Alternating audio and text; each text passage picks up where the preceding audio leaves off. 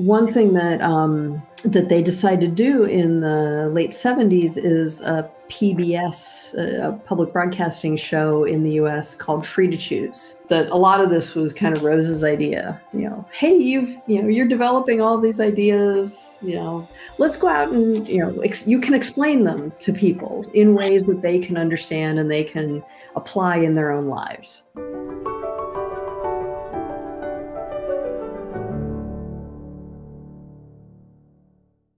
Hello and welcome to the Essential Scholars podcast series. I'm your host, Rosemarie Fike, and today we're going to be discussing two women who are pretty well known for collaborating with their famous husbands, but they don't always get enough credit for being pretty phenomenal economists in their own right. Um, Mary Paley and Rose Director. Joining me today in this conversation is Dr. Lynne Kiesling. Dr. Kiesling is a research professor in the College of Engineering, Design, and Computing at the University of Colorado, Denver, and co director for the Institute for Regulatory Law and Economics. She's also an adjunct professor within Northwestern Master, Northwestern's Master of Science in Energy and Sustainability program. And she's the author of the chapter in The Essential Women of Liberty on these two phenomenal scholars. Thank you so much, Lynne. Oh, thanks for having me. So, one one thing I love about the chapter that you do is you refer to both of these women by their family names and and not immediately by their married names um, to really drive home that these were intellectuals in their own right. Um, but our listeners might better know these women by their married names. So yes. we've got Mary Paley Marshall and Rose Director Friedman. So, one of the unifying themes of this chapter is really how these women were able to find their own way to contribute their ideas to the discipline of economics despite facing incredible limitations. Um, mm-hmm. Can you talk a little bit, especially about Mary Paley and and what she was able to do because she was, you know, working at an earlier time period yeah, Mary Paley, and and I stumbled upon I uh, a co-authored article by Mary Paley Marshall and Alfred Marshall uh, from the I think from the early 1880s. Um, and this was probably 12 years ago. I was working on something and I happened to stumble on this thing, and I'm like, whoa, Mary Paley. And so that got me very curious. And I started doing some digging and, and discovered that, you know, that she was a really uh, quite serious economist and quite a um, good intellectual companion and partner to to her husband.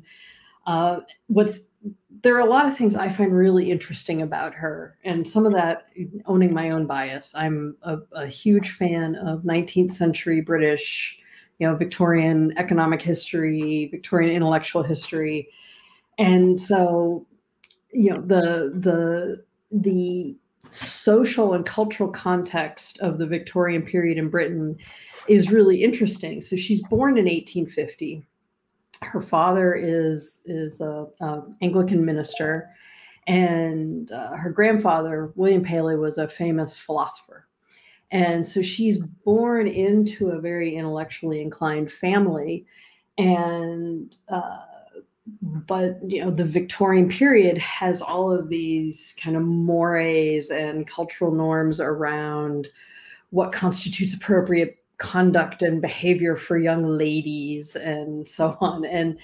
and you know it's it's uh, it's not clear that she in any way violated any of those. But in addition to those kind of social and cultural strictures she was fortunate to be brought up in an intellectual environment where her father encouraged her education and her curiosity.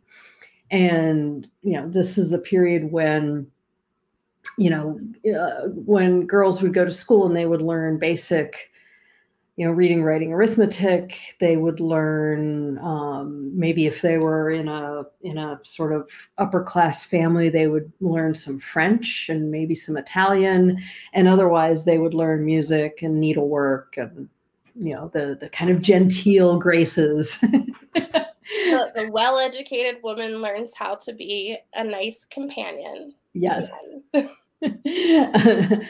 and um, and so her father uh, she and her sister were educated in math beyond just regular arithmetic, you know, into geometry, trigonometry, algebra, and so on. And um, they learned German. And because they learned German, they had a German uh, governess, I think, at one. And they were able to read some of the scientific literature in in German, so they had some more exposure to to science than your usual uh, girls' education would have. And so she grew up having a lot of exposure to math and science uh, beyond what you would expect. And and I think that's really great. And and I think her father encouraged curiosity and um, she was one of the first women to apply to go to Cambridge University as a student. That's pretty amazing. Yeah, and it, I mean, it was it was one of those weird things, right? So it's in the 1870s, and uh, she um, she was in one of the first five women. There was a class of five women who entered Newnham College, which was a newly established college at Cambridge in 1871.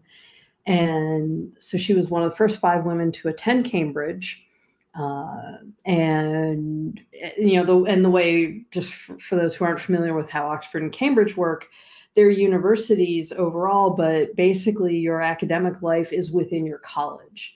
And so each uh, there are you know several colleges within Cambridge, and you know Trinity and King's and so on. And so Newnham is a newly established college for women. They start with these five students, and uh, and and the um, the economics faculty sends over a couple of tutors to teach them economics. One of them is this newly hired scholar named Alfred Marshall, and so um, you know, he's he's the tutor. He's the women's tutor, and interestingly, he's got kind of an interesting story himself over the course of their relationship. Um, you know, at first he's very egalitarian and very much about women's opportunities and so on. And that's why he is excited to go teach at Newnham.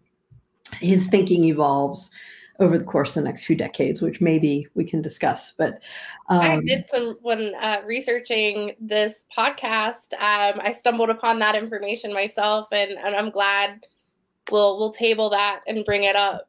Okay. so so she's learning math and econ and and really is digging into the economics and doing very um, high level work. Uh, she takes the the graduating exams that the same exams as the male students take uh, to graduate. And she passes all of them and and gets you know does very well on them. But of course typical. Um, they don't, Cambridge does not grant degrees to these five women. So it's like, okay, we're going to let you come study and we're going to set up a college, but we're not going to grant you a degree. And you're like, but wait. Even though she took the same kind of coursework, passed the same exams with honors, and yep. yeah. Yeah. So um, it, it, was still a you know it, it was progress, but still a steep uphill um, progression. And uh, so she finished and she stayed on at Newnham as a lecturer. And so so she then became one of the one of the instructors, and they continued to expand um, expand the the number of, of women in the in the college. Um, and then at, at some point, I think in 1877, the the um, they she and Alfred got married. Uh, they moved to Bristol. He had a, a, faculty appointment in Bristol, and they were there for a couple years. And then they were at Oxford for a little bit. But then he got appointed to a, a faculty position um, at Cambridge, and so they came back. And then she taught at Newnham from I think it's 1885 to 1916. So, yeah. But how, how did they pay her? Oh, that's right. so at Bristol, um, she she did teach. She had a lecturer post at Bristol, but they only paid her out of her husband's salary. So, yeah. Oh, bless these women who were yep. able to weather all of that so that you and I didn't have to do that. Yeah and and so and she was definitely I would call her somewhat she was kind of quietly tenacious. You know, she just was very tenacious and just stuck with things and just chipped away at it. Um, and she was willing to to suffer some of these indignities.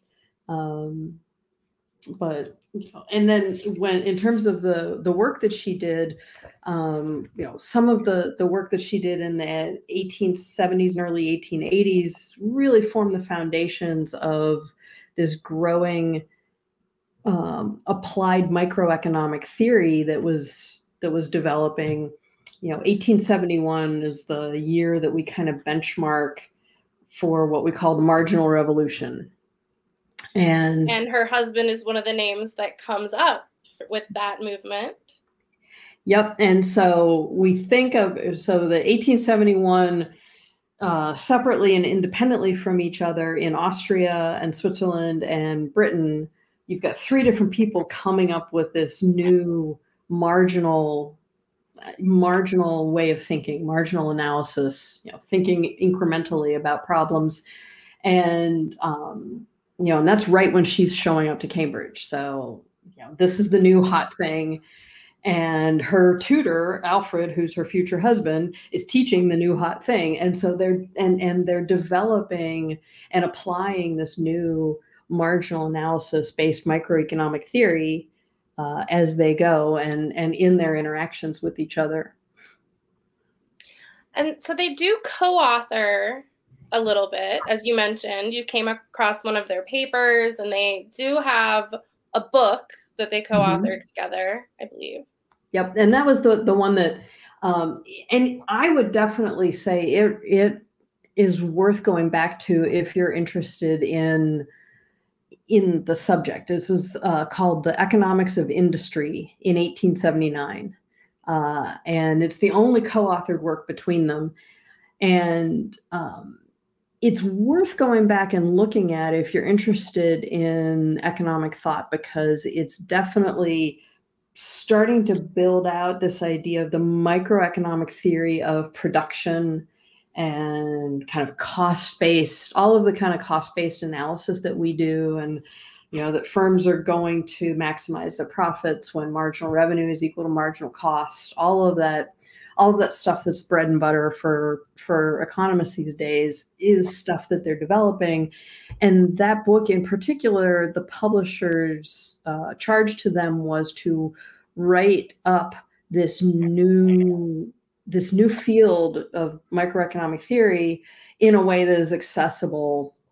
You know so basically if you're writing a textbook for these women who are coming to study at newnham college cambridge that's what this book should be and so it's written in a in a way that is very clear and and accessible um, and then ultimately uh, gets folded into the work that alfred publishes in 1890 his seminal path-breaking work principles of economics.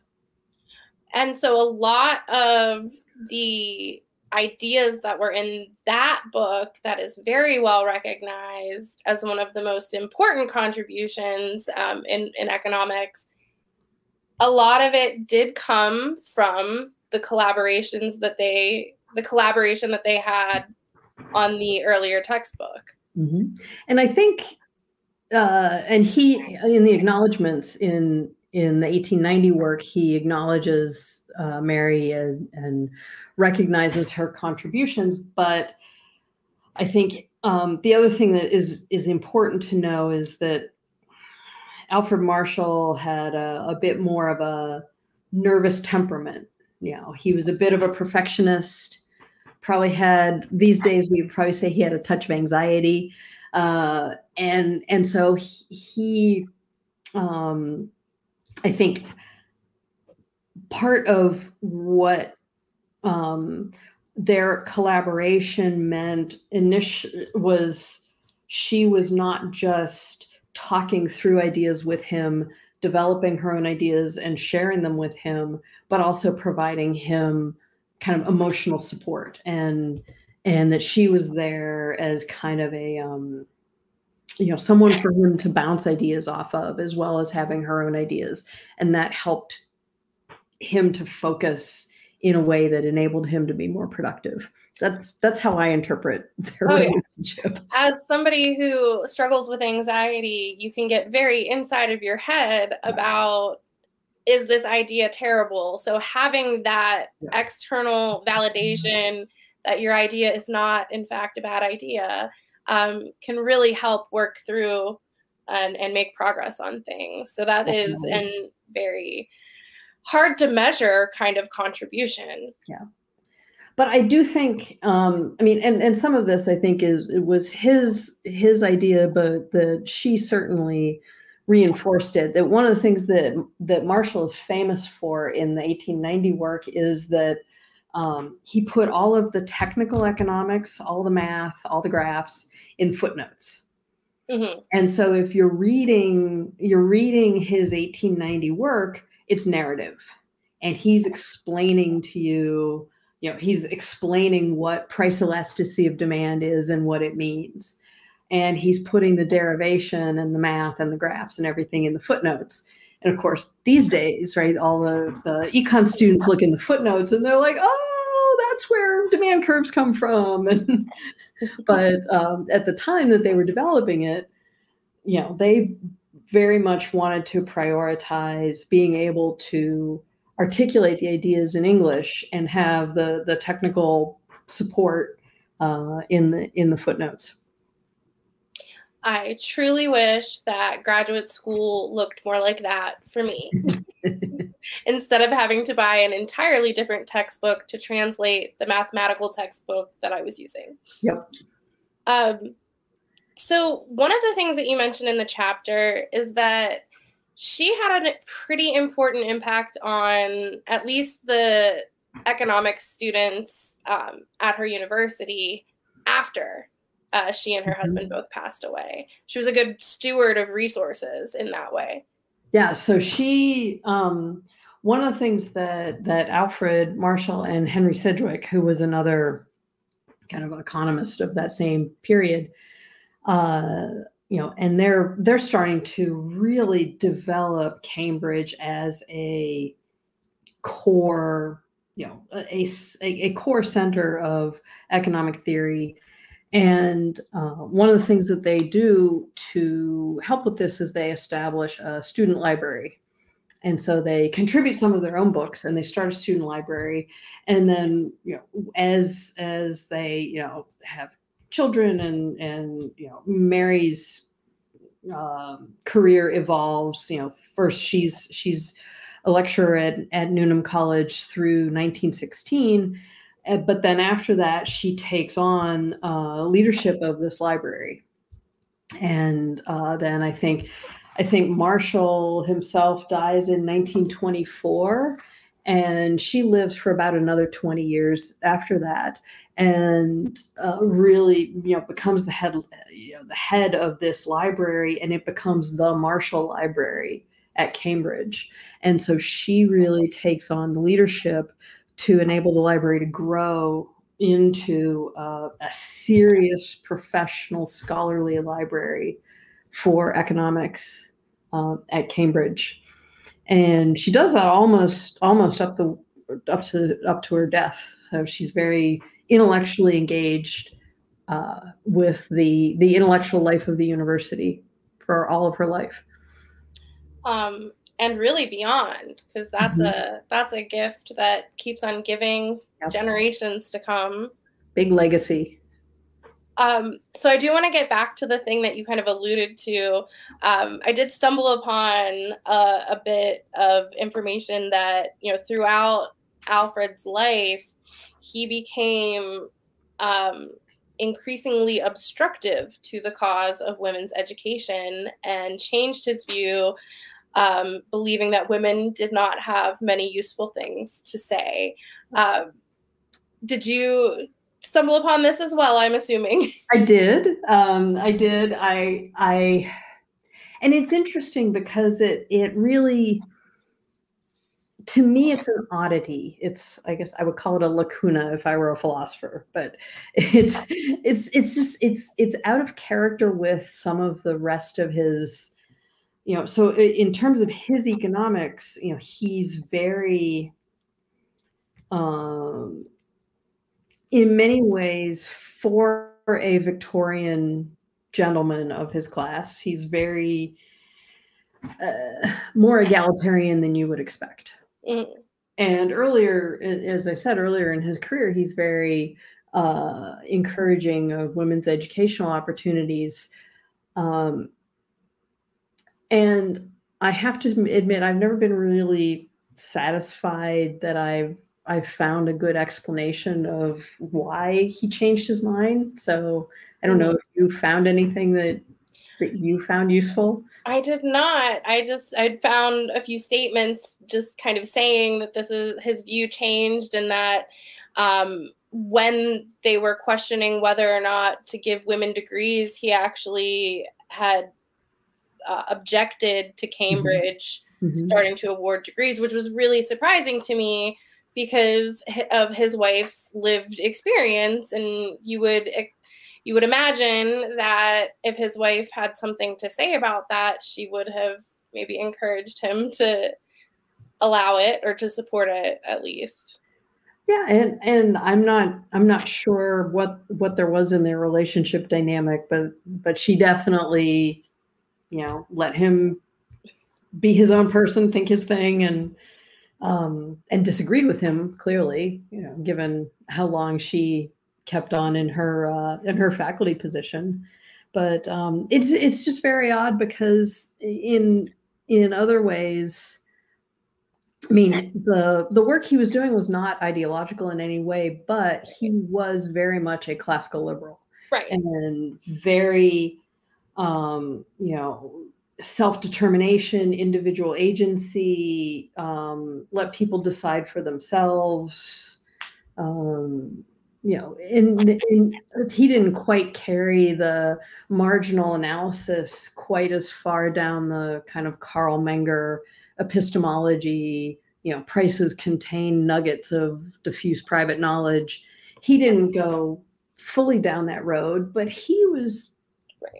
He was right there, and and so um, this is a weird time though in in British culture. Um, you know, because he and he's very influenced by Darwin, mm-hmm. which is another. Um, and, and, it's not clear how much Mary was influenced by Darwin, but but Alfred certainly was. And um, and so you know he has this this focus on the kind of underlying dynamics of systems, although his economics is very much okay. Let's take a dynamic system and let's be a little reductionist and use a static framework to analyze it so that we can kind of get our arms around it. Um, but but this is also a time where you know you, you have this growing eugenics movement and um, different things having to do with race and class. You've got so the, the, original institutionalists are mm-hmm. in their kind of prominent position in the in, in the um, yeah he, he I think he may have found some of the suffragette activities a bit objectionable and was probably hostile to some of their tactics and that might have might have changed some of his opinions about women's education but that's just speculation on my part well as many husbands and wives have disagreements um, i want to turn to rose director who is um, known for being the only person who could win an argument with Milton Friedman, her husband. That's right. I loved that little piece of information. Yep. The only person to win an argument against Milton Friedman. Um, her coming later um, toward in academia. How was her experience different from Mary Paley's? Well, I, I think she has the two. One of the the things that, that the two of them have in common is a a tenacity, and, uh, as, as well as a kind of intellectual curiosity. So, but the tenacity is what I really want to focus on because, uh, you know, her background. She was an immigrant. Um, she was uh, immigrated to the U.S. from what was then the Soviet Union and is now Ukraine, and um, and so a, a, very kind of again intellectually oriented family, but coming in as an immigrant, and uh, I think she had been. Um, uh, they ended up settling in in Oregon, and she was doing her undergraduate at Reed College in in Portland, and and so she was, you know, doing you know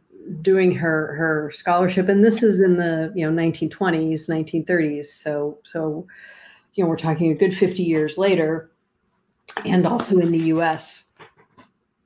Her older brother Aaron, Aaron Director, was a student at Chicago, at the University of Chicago, and he wrote back to her and basically said, "Hey, it's great here. You'd love it. You should come to Chicago." And so she did, and um, and so she started. She uh, enrolled in the PhD program in economics at Chicago, and um, he he was uh, in his own right um, Aaron Director was uh, an important influence in the development of the quote unquote Chicago school and the growth of law and economics as a separate field. And so, so there's a whole separate story we could conversation we could have about him. But uh, he was he was formative in in getting his little sister to Chicago, and at one of the um, one of the kind of uh, graduate student events in 1932, I think it was. So she's at a grad grad student event and she's sitting there. You know, I think it's some, something about they're sitting in alphabetical order and D is next to F, and so she's sitting next to this guy named Milton Friedman, and they start talking, and you know the the rest is history. Uh, and they had a very a very long and um, you know very happy marriage uh, I think he he passed away in 2006, I want to say, and uh, you know they were were constant companions, constant intellectual companions, um, you know, throughout their lives, and um, it's a style of collaboration very different from the Marshalls. You know that they, um, I think, were much more kind of you know public public facing collaborations uh, that that I'm sure we will want to dig into. Oh, absolutely. Um, I do want to talk about her initial contributions uh, before Friedman was added to her name. She has a number of publications as Rose director. Um, one of those, it, the early work with, I believe, Dorothy. Dorothy Brady. Dorothy Brady. Um, mm-hmm. Work on how income affects people's spending behavior. Kind of sounds a bit like what Milton Friedman won the Nobel Prize for later in his life. Yeah, and that's a connection that you saw that I didn't make in the chapter, but I think it's right that um, you know she's she's doing some very detailed data work, very detailed empirical work on um, how differences in income levels and the income distribution in general, how that affects household savings and household expenditures. And, and so it's looking at these kind of life cycle patterns of savings and expenditures from a, a, just very detailed data driven um, analysis and then you know milton probably you know is because i'm sure she's like writing the working paper and gives it to him and says hey can you give me comments and and he gives her comments and then one of the comments probably is you know i wonder why they're making those decisions right? Because th- this is what every economist asks, right? Is I wonder why, and then fill in the blank for whatever your observation is. And so, so I'm sure the two of them were talking about, you know, what do you think explains the pattern of income distribution, you know, differences in savings at higher or lower incomes, and um, and that led to I, I, that was a, a, period of time where he was developing his work on permanent income hypothesis, mm-hmm. which um, I will defer to you to explain.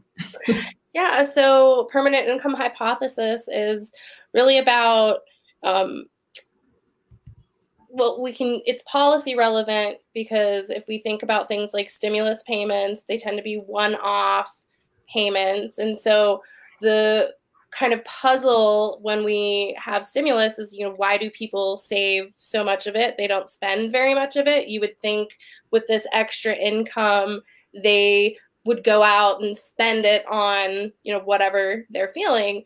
Um, but the idea of permanent income hypothesis is they don't really change their spending and consumption behavior all that much unless the change in the income is seen as a permanent change to your income. Mm-hmm.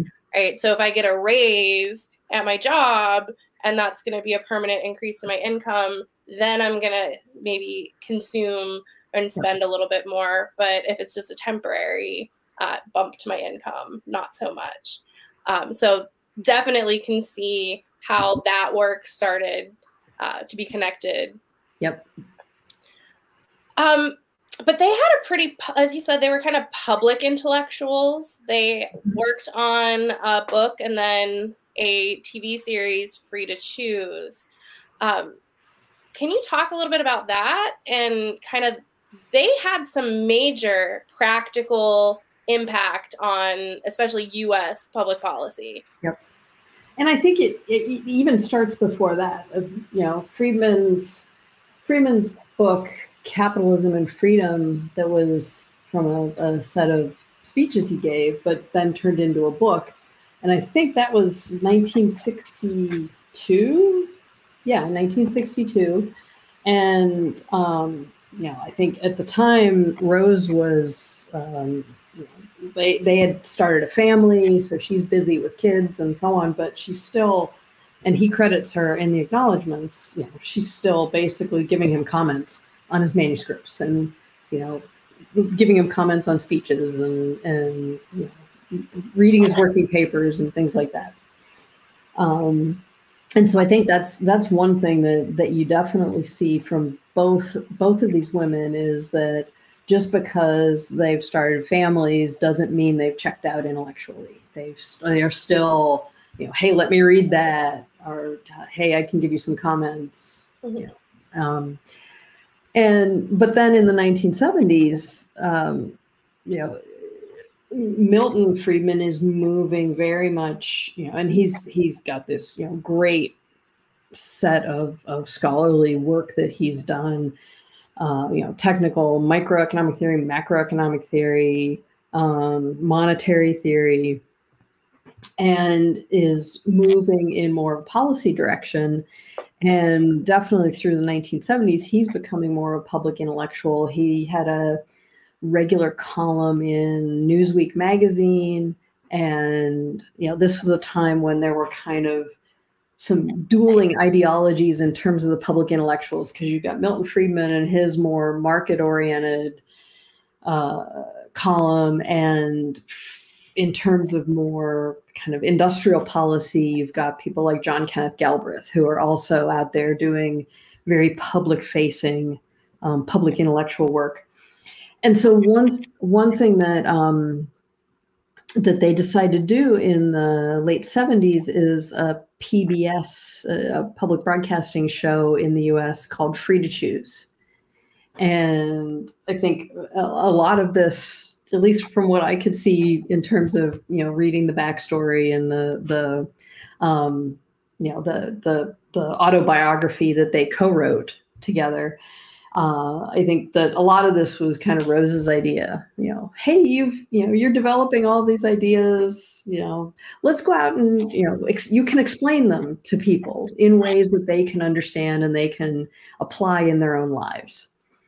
And and so it's a typical you know it's a typical public TV series where you've got like you know I think it's twelve episodes and they each are you know set in in some particular location. I'm remembering the one uh, that talked about unemployment. And at the time it was set in my hometown of pittsburgh and there was too. i didn't know that. Okay that's a separate conversation yes, we'll have to have that conversation. Once the recording's off. Um, and and you know this is a time when a lot of the steel mills are downsizing. And so there's quite a bit of unemployment and this conversation about household expenditures and income and savings. And also how do you define unemployment? There's structural there's frictional there's um, and so he's putting this all in this context but on the ground in conversation with actual workers who are either have experienced unemployment or are potentially facing unemployment, the risk of unemployment. And so there's a lot of that kind of real on the ground, folksy, talking to people, making the economics real. And um, and I think it's the it's the the kind of collaborative brainchild of both of them. And Milton was the public face of it. Uh, and then they wrote a book that was a product, you know, a follow-on product out of the TV show. And I think Rose took the lead on that writing. But it was truly, you know, a collaborative, a, a collaborative venture and had a lot of impact on. You know, that was when I was in high school. Um, you know that was my first exposure to economics was seeing the free to choose videos. One of one of my teachers was just like oh you know we're going to do a unit on economics and you know put the put the video in the cassette in the player and hit play and i'm going to go down to the lounge and have a coffee. You guys watch free to choose. And it was great. It transformed my life I remember one of the first um, like summer economic seminars I went to. They showed a few segments from Free to Choose, and it was you know dated at the time. It seemed a little bit dated, but it was still incredibly relevant. Um, what are some of the big policy conversations that changed as a result of that? I think the the unemployment you know, and this was in the in the late 1970s. This was a time when macroeconomic policy was very fraught, right? So you've got from the from the mid 1930s onward, you've had this growth of Keynesian macro policy, and I'm I'm not a macroeconomist, so I'm just going to be very superficial in my description of this, but you know the the idea that you can use fiscal policy to try to manage a large complex economy to a particular range of outcomes. And you know the the argument that they're you know that um, boom and bust cycles come from say a shortfall in demand. And so you need to boost incomes to boost demand. And so that's why you make you know subsidy payments to people so that they go out and consume more um, and and so on that kind of fiscal policy level you get disagreement between keynesians and and friedman who would be i would guess i would call it a more classical uh, argument that um, it's production that drives economic activity, not consumption. And so you got to start with the production. And you know, so this aggregate demand stimulus is going to do nothing but produce inflation. And um, good old Say's law. Good old Say's law. And um, and then the other piece of, of macro policy that was very fraught that Friedman was participating in at this time was monetary policy you know, in the late 1960s, uh, I think the US went off the gold standard. There was all of this fixed versus floating exchange rates. Um, and the you know, the very kind of Friedman monetarist position that inflation is always and everywhere a monetary phenomenon.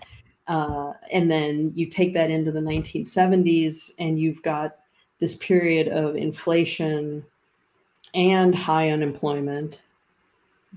And the inflation was a consequence of some of the policies that had been implemented to try to deal with the high unemployment. And then you've got layered on top of that the 1974 OPEC oil uh, restrictions and then the 78 79 Iran Iraq war. Um, so just macro policy was it was a mess and so there was a lot to talk about but having this very folksy layperson oriented conversation around here's what this technical economics means for you in your situation. Yeah. That that was a, a huge contribution and, and unprecedented. Yeah i mean they got people to pay attention to arguments in favor of school choice which nobody had really been talking about at all. Um, they got people to question the validity of, of military conscription, right? And challenge, you know, the role that unions were playing in some of the unemployment and other economic problems that the US was experiencing. Um, and they did it in a way, as you said, that was relatable and targeted towards a non expert audience because the majority of voters are non-expert audiences and we in academia tend to kind of overlook that aspect of, of what we should be doing. Yep. Yep. And i think yeah the the in medicine they call it translational research right? That there is this actual field of research that is taking the very very arcane technical detailed lab work and translating it into application and use and comprehension uh, for the the non-lab scientists. And um, you know, I think uh, I think we in economics could learn a lot from giving giving the same kind of of status and credit to that translational to that translational work. It's really important, and they did they did a great job of it.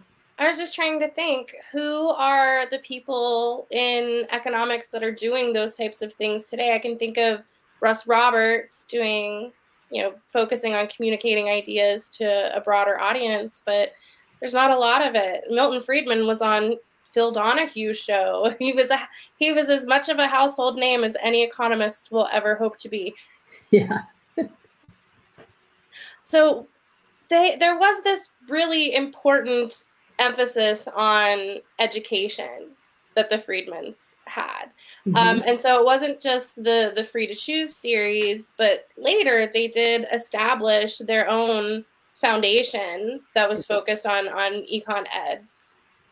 Yep, the Free to Choose Foundation, and and so a lot of their you know a lot of their effort in their later years went to having this kind of more popular facing set of conversations around economic ideas and popularizing the economic way of thinking. Um, and I think that's and then that's again another another commonality across these two women is the emphasis on education in and you can see it in their different you know in the different generations and different cultural contexts that you know mary paley is very focused on the first generations of women getting a first class university education, even if they can't get the degree at Cambridge. And then Rose director Friedman is have is focusing on the more popular communication. And so you see the evolution of economic ideas through through their different roles yeah and you know their own experiences kind of influencing that as well i'm sure rose's experience leaving the ukraine to come to the united states being an immigrant fleeing a country that did not have as sound economic policies as the one that she mm-hmm. went to Um, all of this probably shaped the way they not only see the world, but the way they wanted to help other people see the world too. Yep. Um, so, any last words on these two trailblazers? Definitely, I think we could use that word to describe them both. Yeah, I, I agree. And it was very fun to have, as an author, to have this opportunity to go back and and read their work and and be able to share it with everyone. So um, well, if anybody is interested in learning more, um, Dr. Kiesling has a wonderful chapter in the Essential Women of Liberty book on these two wonderful scholars.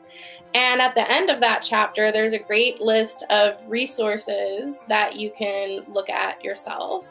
Um, thank you so much for joining us today, Lynne. Oh, thank you. It's been a great conversation. I enjoyed it a lot. You've been listening to Essential Scholars, a new podcast series that explores the ideas and insights of some of history's most influential thinkers. If you've enjoyed today's episode, please be sure to subscribe and head over to essentialscholars.org to learn more. See you next time.